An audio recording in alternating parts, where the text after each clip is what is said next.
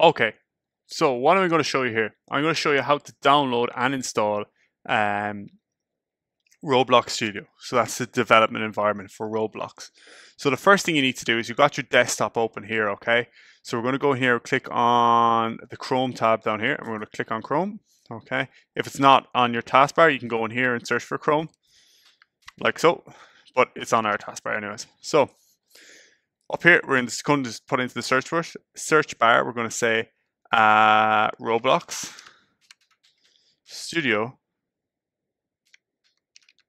and just go download. Okay. Click enter. No. You should see this should come up first. It should be uh, develop Roblox, roblox.com. Click in here. And I'm going, you're going to go open Roblox Studio. This kind of uh, little page here should show up. Now, I'm going to post a link to all this in the uh, Schoology page, but just to show you how to find that if you're doing it on a, uh, on a computer at home maybe.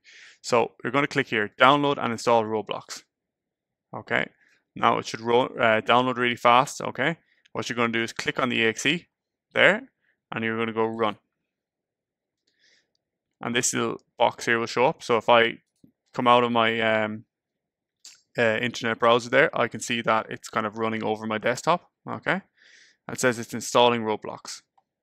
So just wait for this.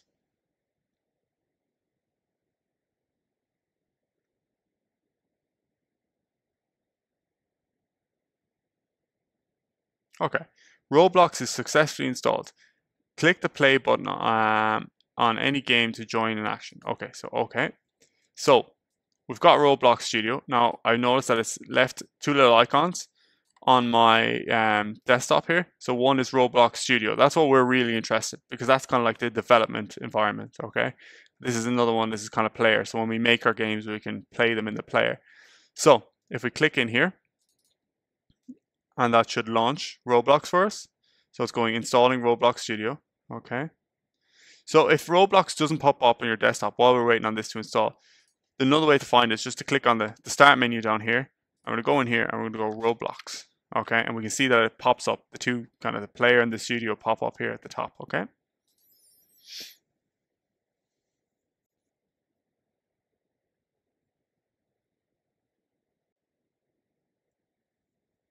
Okay, so from this kind of window here, we can actually see that everything is, is loaded up perfectly for me, okay? Um, so not to worry about here about all the bad HTML or anything, but we've got everything's loaded up there we can click through and this is where we're going to develop our first uh, Roblox games. Okay, thank you. Thanks for watching.